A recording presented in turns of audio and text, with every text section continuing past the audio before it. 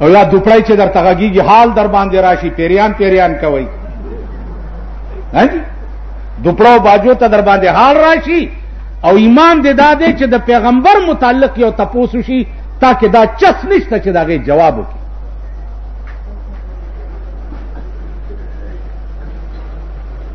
مونږ چې واړو د خار کې خزو به بیٹک ورکولو یاد دي چاته خاریانو ته پته ده خزو به بیٹک ورکول استجنن تینو بیٹک دینی نو دوپړای ماری به راوستي او د خزې به ولو پټې رنگ کړي نو یو ورځ مونږ ما شومان ورته ناستو نو ایو خزې आवाज کو چې سبس پری آندی پي نه ډې نکل جاون نو مونږه پاس نه پسوري کې ورته کتا یوي وچو ځوانه مرګ ته بیٹھین نو یوې خزه په خوا به د خزو پڼې کولې ا د پڼو لخت را په سپاس راوړه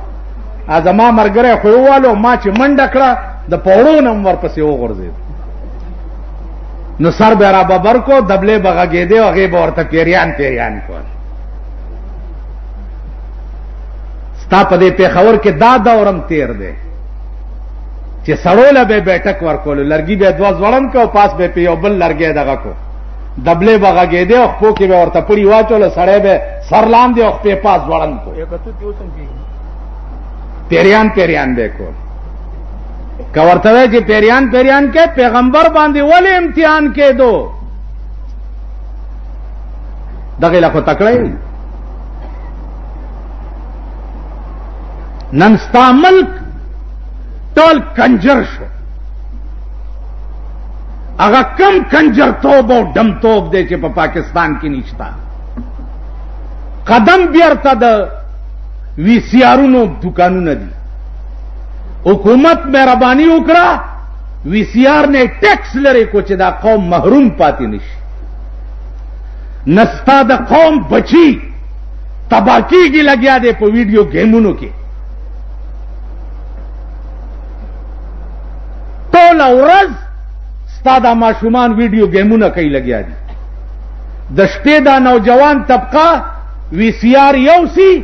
او لس روپۍ ټیکټ په ولګي او په کور کې د تمام لندرانو میله یې جوړه کړي حکومت دی ته وایي ملک دی ته وایي وطن دی ته وایي چا کې چې د حیا او د غیرت او د شرم نوم او نشان نه دا ملک دی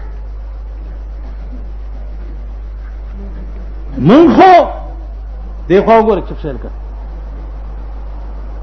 مونږ خو داسې په دې ملک کې اوسېږو لکه د کمیټې د غولو لارۍ کې سړی ناشتي د غلو په لارای کې منځ کې ناست یو غیر چاپیر را نستاسو سټي پرتی دا خدا سي ملک دی ما د دنیا ملکونه لیدلې دي دومره بے اصول ملک دومره بے قانون ملک ما په دنیا کې نه دی لیدلې لکه ستا پاکستان کې هر سړی پکې غل دی ډاکو دی زه لوی غل یم جومات کې ناست یم زه لوی غل یم ته مال راشي استاجی پلار مې مړ دی څومره کپن راوړم زه هم سلويخ غزا اوس ته مانه دا تپوس کولی شي چې څلوېښت ګزه باندې څه کوې بیړه دې غرقه شه هلته که غږ کې زه دې شرموم چې پلار له کفن نشي راوړی په څلوېښت ګزه به څه کوې جی دا د پاسه په صادر دی او دا کسوړه ده او دا لنګ دی او دا پلانې دی او دا پلانې دی او دا پلانې زلوې غالي د جمعې په شپه څه چلی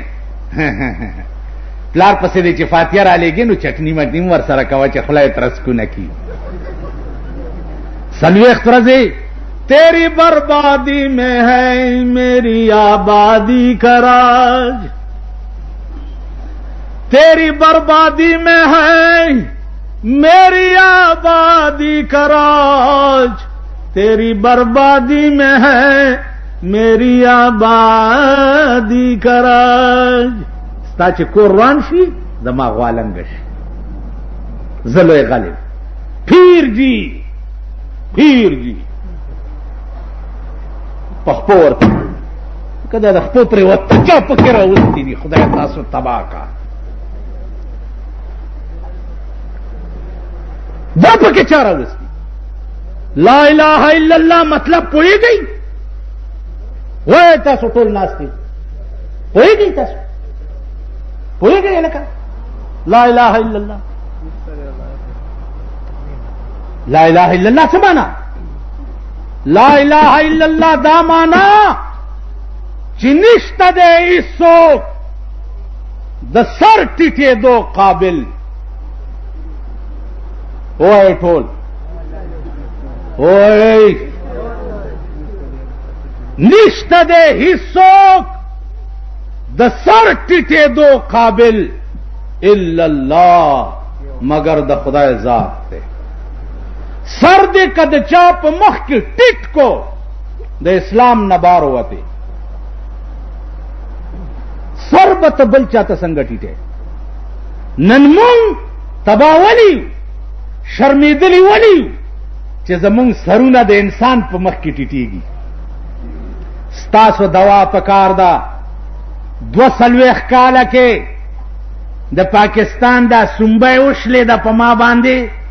او زما سر ځان ته ټیټ نکړو والله کې ټیټ کم ورته چې و ځای مې حلال کی دا وزیران مزیران تاسو چې وزیر وګ وزیر را وزیر را ستمور پر کټه دی راغې خانه دی خراب شه بیړه دی غر کشه وزیر راغې وزیر دغه وزیرانو باندې خدا کزه خر ډیران تراکا خر یا دوی ته زه د کار نه ونه ونه تاسو سره پرسیدل سپیګمی نیولی ټول اورات د دوی په درب دروازو کې ګرځي درخواستم پلاس کې الله پاک سره سوا کړی او ذلیل کړی کمیټه ته ورشي جی هه اپریټر می برتی کا اپریټر می برتی کا د کمیټه تر پیټوي جګه ننګي جګه ننګي بیا سپیر را روان تاسو به خدای نور خرابوي نور به تبا کېږي نور به رسوا کېږي نور به ذلیل کېږي ځکه چې تاسو د خدای سره پرېخې ده او د بنده اسرم نیولې ده تاسو وایئ چې دا منبران نه جوړیږي دا صوبای د دې علاقې منبر څوک دی صوبای ها مبارکم شاه مبارک شاه منډي لګېدلې او په اپټ آباد کې د منبرانو 50 روپو ته غویا رسیدلې پنځوس لکو ته منډۍ لګېدلې چې الیکشن شوی دی په دې طرف هم لیدلی دی ایوب شاه صاحب ها پوس پرې کړو نو بیا به یعنی په دې دوه څلوېښت کاله کې تاسو کې څه هوش رانغی څه عقل در کې رانغی د بنده اسره مه کوه شیب ابن ادهم د نوابۍ لباس بدل کا یا نادان ازان د محمد د چمن ګل کا رستو کا کارونه د دنیا عشق اول کا کړه په عشق د یو کې عاشقان پزان لکونه زب منبر ته ورزم درخواست باندې جی هی دا زب منبر د دې ګړګړونه نیسم بیتی کوم به یا به ته زما کوسه کې ګرځې یا به زه تعالی مینت کوم زارای بکو تیر ورځو کې زمونږ د کوڅې وبه بند وي چې وبه بند وي چیف افسر ته مې ټلیفون وکم ما وی چې په 24 غنټو کې دا وبه کولاو نشوي او ستا دا ټوله کمیټه ما سنگسار نه کنو زبر د سړی نه نیم پیدا چې مې کته د شپې شپې لیبر راغې او به کولاو کړ تاسو درخواست په لاس ګرځي دا خدای رانی ولي یي خدای ذلیل کوي تاسو د کچه د خدای سلام پرې خدا د بندا سلام نیولې کچا پیر صاحب لور شي تاسو وایي چې بس خدای کم کار نشي کولای دی کولای شي ان لله و انا الیه خدای چې کم کار نشي کولای دی کولای شي کائنات ټول خدای ته محتاج دی یو لک سلیری زره پیغمبران ټول خدای ته محتاج دي او خدای ای چاته محتاج نه دی کم سړی چې ستا شکرانه تلاش نیولې ا دې ځان له دواو کې چې د شکرانو نه خلاص شي ځان له دې دواو زمونږ دا قبایل چې دي پیر لبراشي چې پیر صاحب قربان دې شم دې داونه مې ونه بوس قربان دې شم داونه به مې نه وبوس هغه په وړي کې واسکټ اغوستي زوی خدای دې کامیاب کا خدای دې داسې کا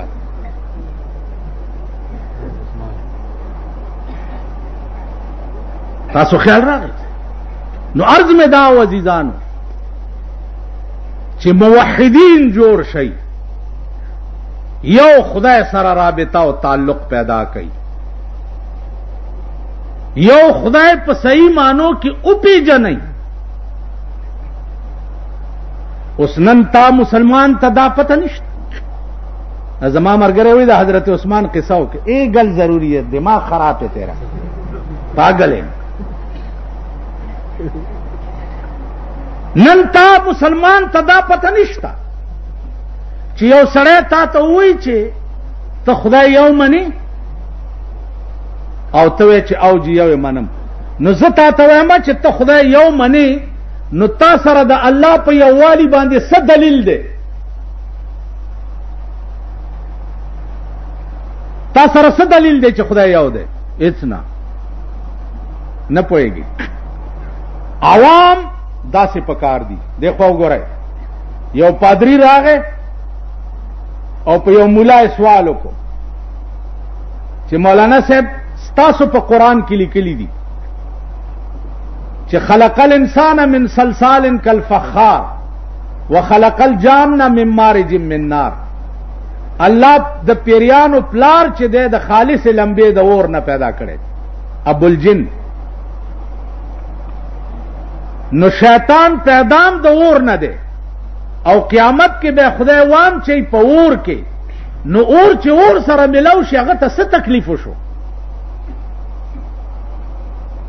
نو دومره په دنیا کې خلق هم تبا کړ او قیامت کې به اورو اور تلاړو تکلیف هم ورته ونش ملاریان شو او بیا ملام اوس خو وای رنگارنګ میوه به ونی سی خاخونه ډک د پانو بنسکور وی مونږ بنئ طالبان به فراموش د دین کتاب کا د دنیا کتاب به ګوري مونږ بنئ نن مولا دی او کامی دی او کمیا دی او کپیر دی چې ګوره اخبار دی په لاس کې قران د قران تفسیر حدیث د حدیث تفسیر دا به د چا په لاس کې نه ګوره خو د ټپوس د ذات دی چې ساره ګوره په اخبار بسترګې پرانی دي طالبان با فراموش د دین کتاب کا د دنیا کتاب بګوري مونږ بنئیو امی ولار دی یو مولاریان شو امی ولار دی هغه یو دومره چم د لوټه راواغستو چې راواغستو او دا پادری په دغه ځای وویشتو وینې په روانې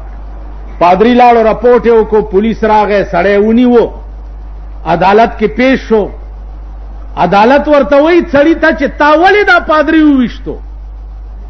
وی جی دی پادری صاحب نه پښتنه وکړه چې تا زمونږ په دې مولا څه سوال کړو وی ما پیدا سوال کړو چې شیطان پیدام د اور نه دی او قیامت کې به خدای وام چې په اور کې نور چې اور سره ملو شغه ته څه تکلیف وشو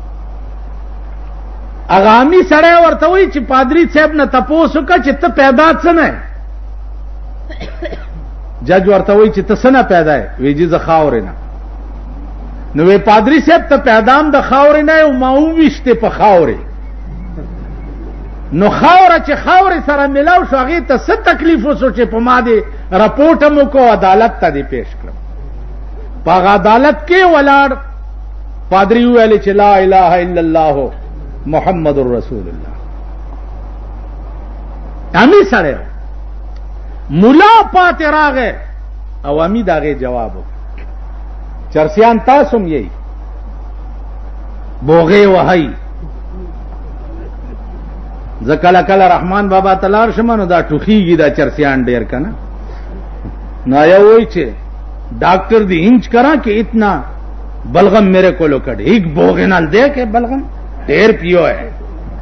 تاسو هم چرسو نسته یو چرسی ناشته د دلی په غدر کې چرسی ناشته او انګريزان دي چې زی او راضی او علما قتلېږي قتل عام لګېدلې ده چرسیان ناشتي او چرس کی یو انګريز نه بټوا پرې وتا چې بټوا پرې وتا دا د چرسیانو مشر پیر چې د دې پتون چرسیانو کې یو که خیال کړی دی دوی ځان له دغه پیدا کړی خدای مرکه یعنی یو کار د سړی توپ د پښتنو نه دی زه خپل ته دکان کې ناشتم خو چې څوک تیریږي لارای کې او دغه د صورت ډولکی ملکی خجوري زم پښتانه لاړه مبارک شه نه ورکه چې ورکه شي نم پلارت لده سړی توپ دی نه مړې د سړی توپ دی نه واده د سړی توپ دی ادیرې له بروټه او الوا یو سي الته به مړې خخیږي الته به ها کو جوړ شي اونو دې انو دې اونو دې انو دې اونو دې یک جوړي اونې دې یک جوړي اونو دې الته بس خات تقسیمیږي خات لچې چاله اور کې به غوټه په جیب کې پرانی دي نیمه بجیب کې پری دي نیمه براو باسي په طالبانو به دا وتا صلاح پېښور ښار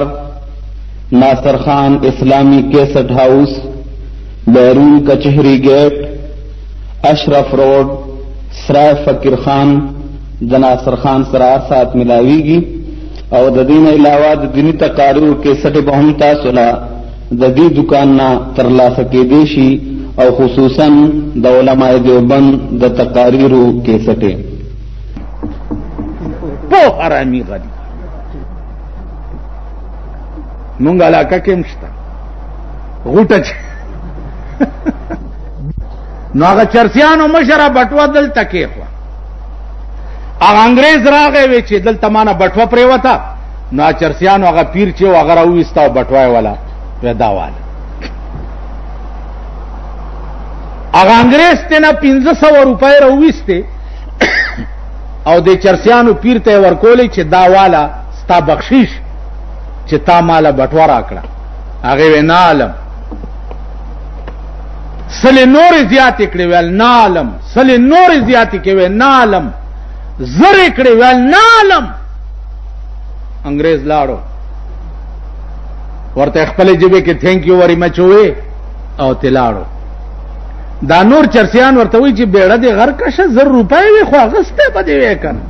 ډیره موده به د چرسو خرچ نه خلاص وي دا چرسیانو مشر ورته څه وی چرسیان داسې پکار دي چرسیانو مشر ورته وی چې دا زر روپۍ مې د انګريز نه زکه وانه غسته چې د قیامت په ورځ به د دې انګريز پیغمبر د عیسی علی السلام او زما پیغمبر د محمد علی السلام نو عیسی علی السلام براشي او زما په پیغمبر به داوا وکي چې ستا امتی زما د امتی نه د بټوي پیدا کېدو رشوت غسته نو زه خپل پیغمبر په 500 روپو کچا کما په قیامت کې چرسی دیته وای نن ستا په ملک کې چرسیان وګوره ټول غل دي اوس ټونالیان اوس دا کوروانی دا پودریان چې را پیدا شوي دي دا حرامیان د شپې ګرځي د بجلو ستنو نه دا اوس پنې پټي او خرڅي او د پودرو خرج ځان لا پیدا کوي پاکستان شریف اخبار کې ورکی منشیات کہ سمگلروں کو معاف نہیں کیا جائے گا کیا جائے گا ما تستا سے ایمان معلوم دے شل شل کال اوشو قاتلان پراته دی په پانسی ګاټ کې تر اوسه پورې 2 کروڑه گوايانې په شوی دی یو پانسی مو نکړه منشیات والا چې ونی صحیح قانون کې ستا دفعه بیلبل دفعه دا وکیلان ور سره پیشي سبا له ضمانت وشي کیږي کنه کی دوی سرکار خو د ایران غوندې پکارو ها پودر خرڅه یا پودرس کې ویني سي او بزنس ټلک سر تیل ته وګورځي ته وګوره چې ما ته مال لګ زور لاس کې راکا لګ زور راکا لاس کې او په دې منډۍ زه یو چکر داسې وام او داسې دې خوام ګورم دې بلخانو ته او دې خوام ګورم یو چکر داسې وام چې دوباره راځم که تاسو د د د دستونو دارې نه وی والې زه به د سړي زوی یو چکر اوس خو